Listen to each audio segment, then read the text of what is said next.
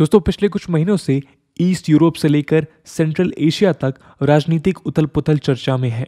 Belarus हो या Ukraine, Kazakhstan हो या बेल्टिक्स, हर जगह किसी न किसी रूप में कॉन्फ्लिक्ट्स की स्थिति बनी हुई है। इन सब मुद्दों ने अचानक से इंटरनेशनल पॉलिटिक्स के विद्वानों का ध्यान ताइवान स्ट्रेट से अपनी ओर खींच लिया है। ऐसा इसलिए क्योंकि इन सभी देशों द्वारा फेस प्रॉब्लम्स का लिंक कहीं ना कहीं एक ग्रेट पावर रशिया के साथ जुड़ा हुआ है। पोलैंड और बैल्टिक स्टेट्स जैसे लिथुआनिया, लातविया के साथ बेलारूसियन बॉर्डर्स पर चल रहे माइग्रेंट क्राइसिस के बारे में तो आपने सुना ही होगा। इसके पीछे बेलारूसियन डिक्टेटर्स एलेक्सेंडर लुकाशेंको का हाथ है, जिसे रशिया सपोर्ट करता है। इसके अलावा 2014 में क्राइमियन इन्वेजन के बाद से लगातार रशिया और यूक्रेन के बीच टेंशन बढ़ते ही जा रही हैं, जो पिछले दो सालों में और ज़्यादा एस्केलेट हुई। रिपोर्ट्स कहती हैं कि आज यूक्रेनियन बॉर्डर में लगभग वन लाख ट्वेंटी थाउज़ेंड रूसी सैन्य बल तैनात है। उधर कजाकिस्तान में मैसिव एंटी गवर्नमेंट प्रोटेस्ट हो रहे हैं, जिन्हें दबाने के लिए कजाकिस्तान गवर्नमेंट ने रशियन ट्रूप्स का सहारा लिया है। इन सभी इवेंट्स को देखते हुए कुछ एनालिस्ट तो ये दावा भी कर रहे हैं कि पुतिन के अंडर रशिया अब सार के रशियन अंपायर और फॉर्मर सोवियत यूनियन की तरह विस्तारवादी होने लगा है। आज के वीडियो में हम इसी क्लेम का एनालिसिस करेंगे। और इवेल्युएट करेंगे कि आखिर कैसे सोवियत यूनियन की एक्सपेंशनिस्ट मेंटालिटी को फिर से रशिया अडॉप्ट कर रहा है। हम इतिहास में पीछे जाते हुए आपको ये भी बताएँगे कि पुतिन के रशिया के लिए ये कोई नई बात नहीं है, क्योंकि ऐसी हरकतें रशिया 1999 से कर रहा है, यानी तब से जब से पुतिन पावर में आए हैं। जी हाँ दोस्तों, आपको ये जानकर हैरानी होगी, लेकिन सच्चाई यही है। चलिए शुरुआत करते हैं रशिया के एक्सपेंशनिज्म की कहानी को। और सबसे पहले चलते हैं कजाकिस्तान में चल रहे प्रोटेस्ट की ओर। नमस्कार दोस्तों, मेरा नाम है आदर्श और स्वागत है आपका स्टडी आईक्यू में। दोस्तों, कजाकिस्तान में चल रहे प्रोटेस्ट और प्रोटेस्टर पर क्रैकडाउन दोनों ही सोवियत रशिया की याद दिलाते हैं। जी हाँ 1956 में हंगेरियन रिवॉल्यूशन के दौरान सोवियत आर्मी ने ऐसे ही रिबल्स को वायलेंटली सप्रेस किया था, जब हंगरी की जनता स्टैलिनिस्ट हंगेरियन गवर्नमेंट के खिलाफ प्रोटेस्ट में उतर गई थी। एक एस्टिमेट के हिसाब से हंगेरियन रिवॉल्यूशन को जब सोवियत आर्मी ने कुचलना शुरू किया तो लगभग 25,000 हंगेरियंस को मौत के घाट उतार दिया गया था। ऐसा ही एक और इवेंट 1968 का प्राग स्प्रिंग है। Prague spring Czechoslovak socialist republic में लिबरलाइजेशन और मास प्रोटेस्ट का एक दौर था जब रिफॉर्मिस्ट अलेक्जेंडर ड्यूबसेक वहाँ सिटीजन के राइट को एक्सपेंड करने की तैयारी कर रहे थे।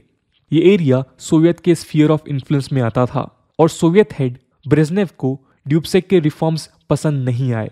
इसलिए वॉर्सो पैक्ट के तहत सोवियत ने लगभग पाँच लाख ट्रूप्स भेजकर चेकोस्लोवाक सोशलिस्ट रिपब्लिक को ऑक्युपाई कर लिया और वहाँ की जनता के साथ अत्याचार हुए। नतीजन एक मैसिव वेव ऑफ़ इमिग्रेशन पूरे देश से हुआ और सिटीजन्स सोवियत के विरोध में खड़े हो गए।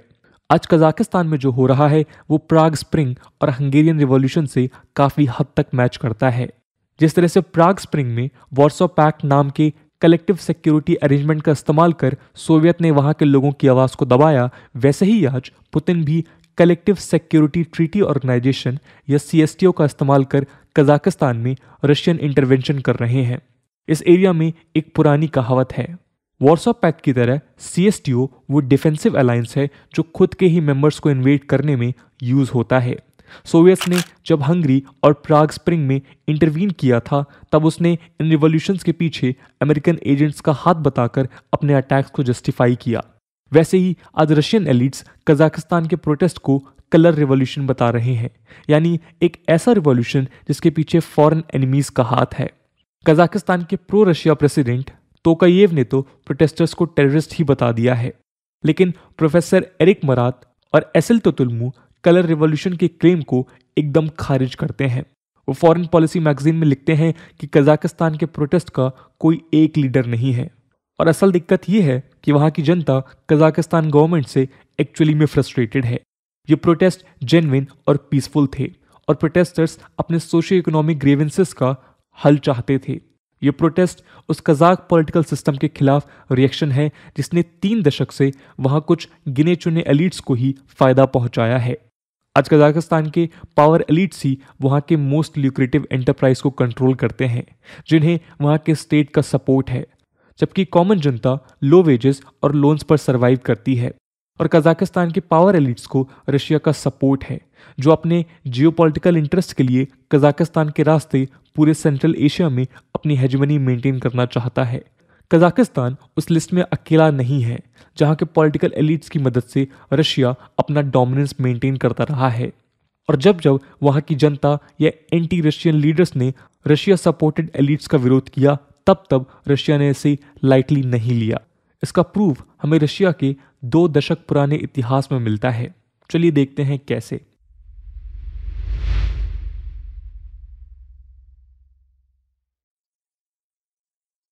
दोस्तों, व्लादिमीर पुतिन जब से रशियन फेडरेशन में पावर में आए हैं, तब से ही रशिया ने खुद के एक्सपेंशनरी फॉरेन पॉलिसी को शो किया है। वो लगातार पोस्ट सोवियत स्टेट्स और आसपास के देशों में अपना इन्फ्लुएंस बढ़ाने में लगा रहा। इसका सबसे पहला एग्ज़ाम्पल चेचन्या है। चेचन्या आज रशियन फेडरेशन का हिस्सा है। लेकिन 1991 में सोवियत के कोलाप्स के पहले ही चेचन्या ने अपना इंडिपेंडेंस डिक्लेयर कर दिया था। लेकिन रशिया के तत्कालीन हेड बोरिस येल्स्टीन ने यह एक्सेप्ट नहीं किया। इसके चलते रशिया और चेचन्या के बीच फ़र्स्ट रशो चेचन वॉर 1994 में शुरू हुआ और दो साल बाद चेचन फोर्सेस की जीत के साथ खत्म हुआ। रशियंस ने चेचन्या को ऑफिशियली एक इंडिपेंडेंट स्टेट रिकॉग्नाइज किया। लेकिन जब फॉर्मर के स्पाई पुतिन की रशियन पॉलिटिक्स में 1999 में प्राइम मिनिस्टर की तरह एंट्री हुई तो येल्स्टीन और पुतिन ने मिलकर चचन्या पर फिर से अटैक कर दिया। इसी दौर में येल्स्टीन ने रिजाइन भी किया और पुतिन ऑफिशियली प्रेसिडेंट बने। दुनिया ट्वेंटी सेंचुरी में एंटर कर रही थी और रशियन पॉलिटिक्स भी पुतिन के साथ बदलने लगी। पुतिन के अंडर रशिया ने सेकेंड रसो चेचन वॉर जीत लिया और चेचन्या को ईयर 2000 में रशिया ने ऑफिशियली एनेक्स कर लिया। लेकिन कहानी यहाँ ख़त्म नहीं हुई। पुतिन का कॉन्फिडेंस बढ़ा और तीन साल बाद ही उन्होंने एक और पोस्ट सोवियत स्टेट जॉर्जिया को टारगेट बनाया। जॉर्जिया रशिया के साउथ वेस्टर्न बॉर्डर पर स्थित एक देश है। 2003 में जॉर्जिया में मैसिव प्रोटेस्ट हो रहे थे, जिसे रोज रेवोल्यूशन का नाम दिया गया। इन प्रोटेस्ट के चलते 2004 में जॉर्जिया में एक pro US leader Mikhail Saakashvili president बन गए और ये बात पुतिन को पसंद नहीं आई। इसलिए कॉन्फ्लिक्ट्स और टेंशंस बिल्ड हुए और फाइनली 2008 में जॉर्जियन सेंट्रल गवर्नमेंट और उसके ऑटोनॉमस स्टेट अबखाजिया और साउथ एसिटिया के बीच कॉन्फ्लिक्ट शुरू हो गए। रशिया के लिए ये गोल्डन अपॉर्चुनिटी थी, जिसका इस्तेमाल कर उसने जॉर्जिया में इंटरवीन किया।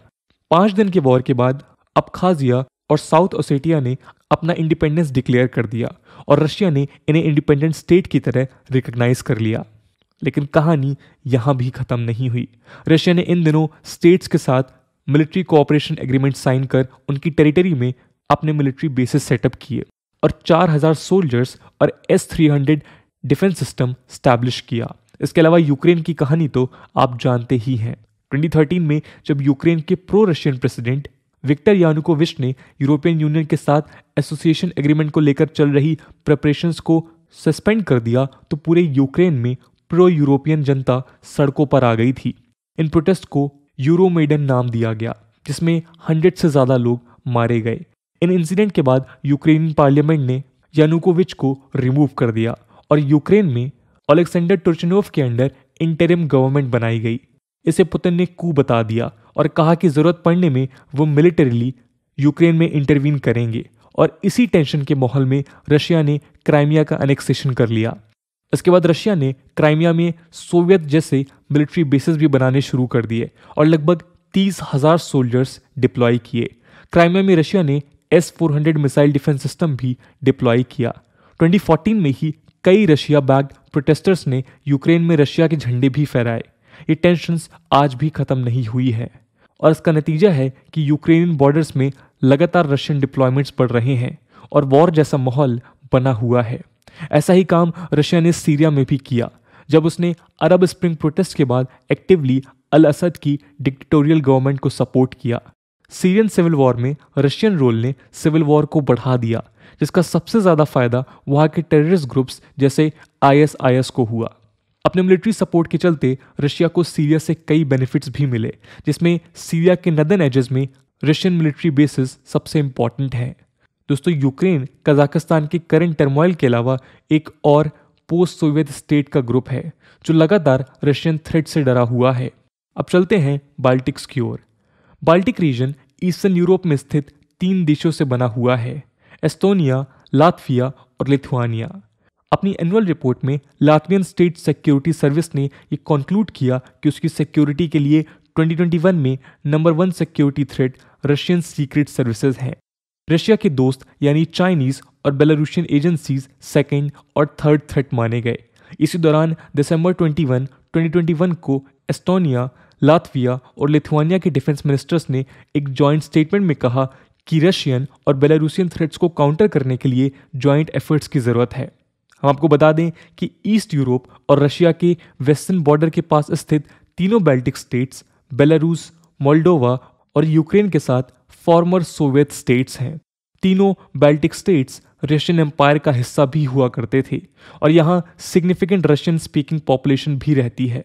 इसकी हिस्ट्री के चलते कई रशियन एलिट्स और लोग मानते हैं कि इन स्टेट्स में रशियन कंट्रोल जस्टिफाइड है। इसके अलावा ये स्टेट रशिया के लिए जियो सिग्निफिकेंस भी रखते हैं। क्योंकि इनके इस्तेमाल से वो यूरोप में अपना स्फीयर ऑफ़ इन्फ्लुएंस मेंटेन कर सकता है।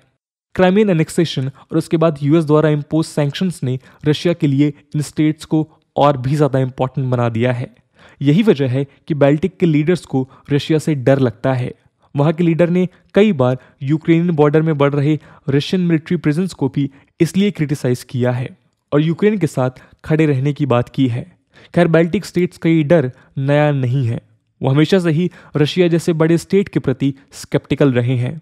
इस रीजन में रशिया के रिश्ते केवल उन देशों के साथ अच्छे हैं जहाँ की सरकारें करप्ट ओलिगार्क चलाते हैं और जहाँ की डेमोक्रेटिक इंस्टीट्यूशन पैरालाइज्ड हैं। बाल्टिक्स के लोगों की मेमोरी में सोवियत एरा के ऑपरेशंस और सफरिंग्स आज भी ज़िंदा हैं।